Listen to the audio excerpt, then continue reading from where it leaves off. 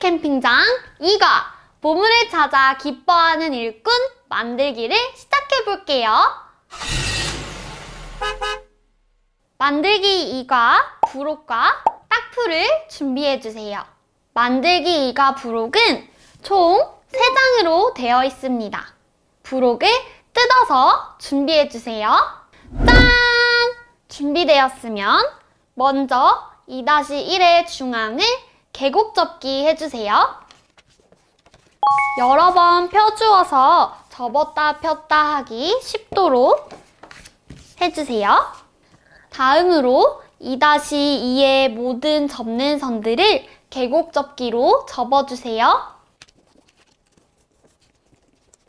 A와 B에 풀칠한 다음 2-1에 해당하는 부분에 붙여주세요. 먼저 A와 A를 붙인 다음 옆면을 접어서 붙여주세요. 2-3은 산접기로 접어서 디귿자 모양이 되도록 준비해주세요. 다음으로 2-4에 2-3을 감싸주시고 2-5의 C부분에 감싼 2-3의 C부분을 붙여주세요. 뒤집어서 보석이 잘 나오는지 확인해주세요. 2-5의 접는 부분은 모두 계곡 접기로 접어주세요. 2-5에 D와 E에 풀칠해주세요.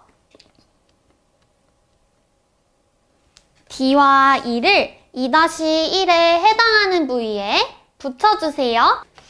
먼저 D를 붙이고 접은 다음 꾹꾹 눌러서 고정해주세요.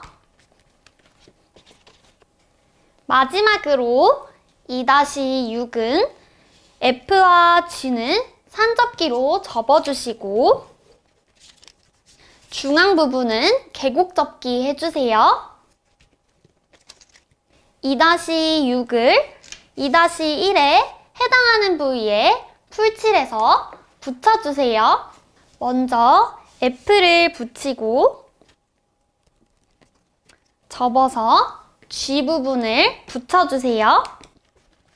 꾹꾹 눌러서 고정해주세요. 펼치면 짜잔! 만들기 캠핑장 2과의 만들기가 완성되었습니다.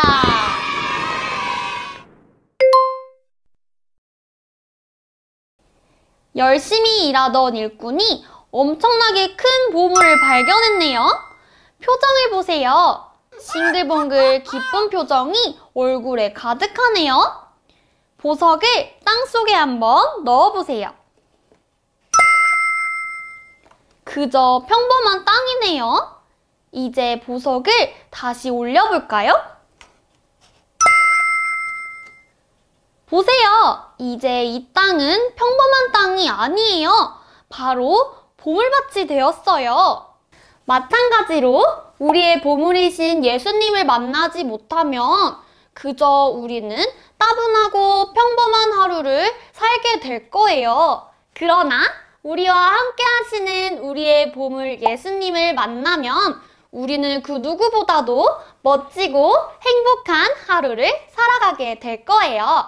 우리 친구들도 우리의 보물이신 예수님을 꼭 만나게 되기를 바랍니다.